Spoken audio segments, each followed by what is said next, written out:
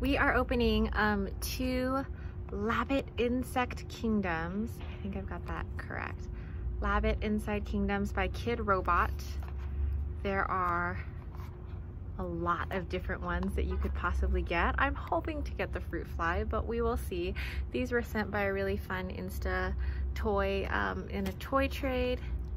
And so let's just get into it. Okay.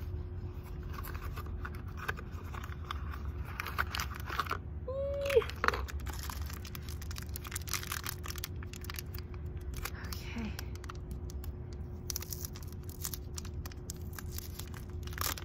Okay, it's green and not the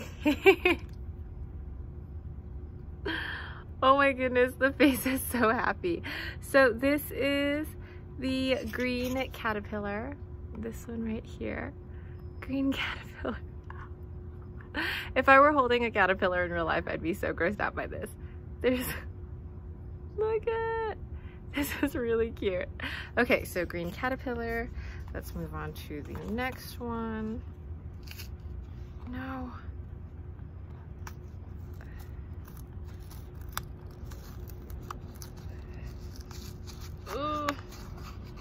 Okay. I love this Kidrobot packaging. That the bag has Kidrobot on it, which is really cute. All right, so.